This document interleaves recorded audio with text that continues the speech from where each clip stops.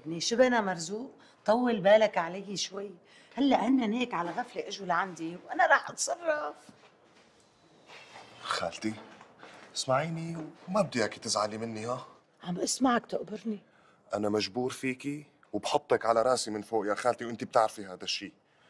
بس شيت إنه والله أقعد أصرف على هي سكية وضيوفها ما لا ظابطة منوبة خالتي. لا تقبرني لا تاكل هم. بكرة أو بعد بكرة بالكتير رح زحط لهم. ورح خليهم ياكلوا ويشربوا على حسابهم كمان. ما تزعلي مني خالتي بس الحق حق. لا تقبرني إن شاء الله تزعل الدنيا كلها. ولا تزعل أنت. خلص لا تأكل هم. أنا مين إلي غيرك؟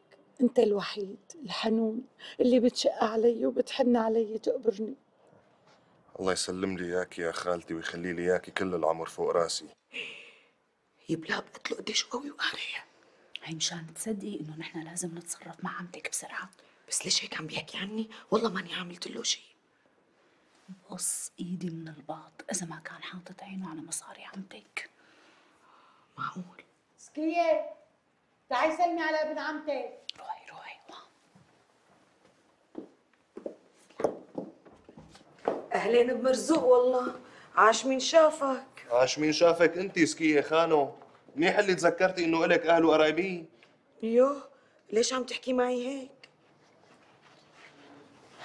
بدك شي خالتي؟ عود تقبرني. عود شربك كاسة مي باردة. بلاها المي خالتي جاي جربك. أنا السلام عليكم. وعليكم السلام. مع السلامة تقبرني. وين سكية خانم؟ شو وين؟ فايتة أعمل فطور مشان نكسر السفرة. فطور؟ إيه فطور. ما حلوة مشان دهب خانو. يوه لكن حطي الزعترات اللي زادوا امبارح مع صحن مي مرتب. ماشي عمتي